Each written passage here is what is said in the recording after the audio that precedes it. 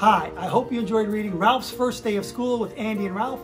And don't forget, in the back of the book, there are training tips on how to train your dog to do the tricks. Now remember, when training, you want to make sure you're positive, you have the best treats available, and you're always marking the behavior you want your dog to perform. Now, before you read the book to your dog, you want to make sure your dog is brilliantly trained at these tricks because when you read the story, you want your dog to be the best actor, to win an Oscar as you read the story to them. Now, just in case you need a little bit more help, I've created a couple videos to help you train your dog to do the tricks. So, let's get interactive with our dogs. Let's go out and have some fun with Andy and Ralph.